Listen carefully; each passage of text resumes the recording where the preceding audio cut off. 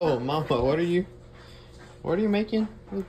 Josh, I'm making the pineapple casserole that everybody likes. All right, I'm gonna, I'm gonna let you walk me through it, so when I move out, I can make it. Okay, yeah. I think you'd be good at this, Josh. All right, so what's the first step? All right, you want to get the juice. Okay. Or a mixed drink later. I wish it was, but we're going to use this to do our filling. That's going to go on top of the pineapples, okay? Right. All right, now you can dump your pineapples in there. A little bit of sugar.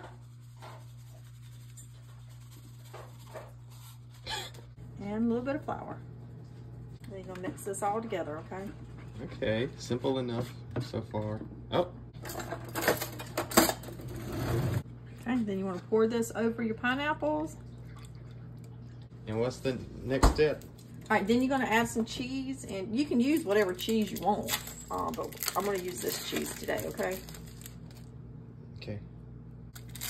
See, the cheese part just confuses me all the time because it's like, is it a dessert? Is it not a dessert? Uh, it's a dessert, yeah. But it's a Okay. casserole, so you need cheese.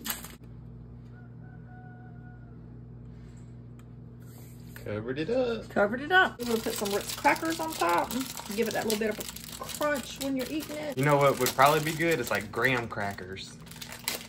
Well, you can try it with graham crackers if you want to. That looks looks pretty good. Oh, it's going to be good. And you're going to turn, you're going to bake it, Josh. Um, we're going to go 385 For how long? uh, until it's hot and the cheese is melted.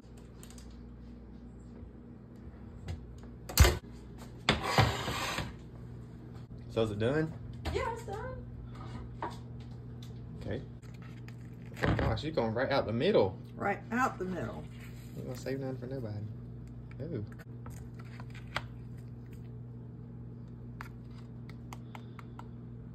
Oh. Daddy, you want some pineapple casserole? No? It smells good. I'll give it that. I might wait for like dessert tonight or something. This is dessert for tonight.